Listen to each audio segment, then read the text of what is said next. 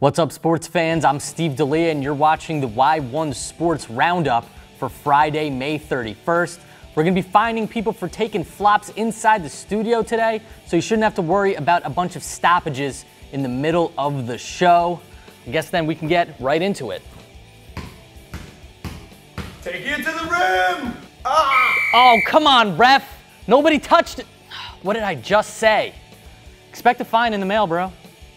First up, the owl might be known for its aged wisdom, but that might all be changing as Temple University has started to recruit a certain sixth grade phenom who's made some big headlines. Darren Bryden is a quarterback from Connecticut, and he's the latest football player to be strongly recruited by a D1 program. Temple University likes his talents and intangibles so much that they had Bryden work out with some members of their college team. He first made his way onto the national scene when he and his father made some videos of the young gunslinger chucking the pigskin in the gym into basketball hoops and garbage cans. Maybe someday those balls will be flying into the hands of D1 receivers. Only time will tell, but we'll be sure to keep you posted along the way. Next up, it's Rankings Friday, and we've got our latest 11U baseball rankings. And again, California has a stronghold on the top spots.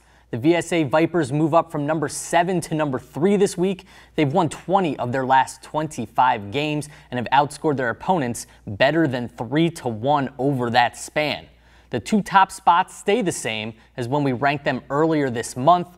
The La Mirada Immortals have actually been pretty immortal lately. They're on an amazing 18 game winning streak, and the number one SGV Hustle are keeping its status quo at the top spot. Their stellar, consistent play has made them impossible to knock down so far this season.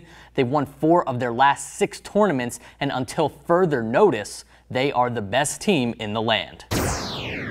And finally, we're taking it back to the wrestling mat this Friday with a recap from the NHSCA National Duels in Virginia Beach.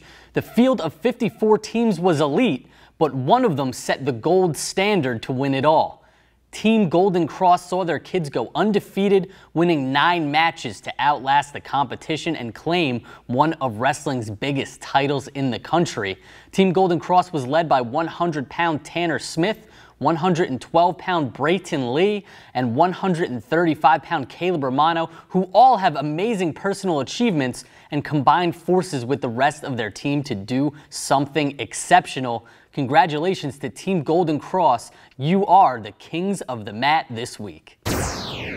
These are just a handful of the coolest stories available today at youth1.com. Remember, get in the game yourself by signing up for our free interactive online community, The Locker Room, because whether you're a parent, athlete, or a coach, youth1.com is the place on the web that's all about you. And that's just about it for today's Y1 Sports Roundup. Stick around for a little while, celebrate the best of youth sports with us. And until next time, I'm Steve D'Elia. Thanks for watching.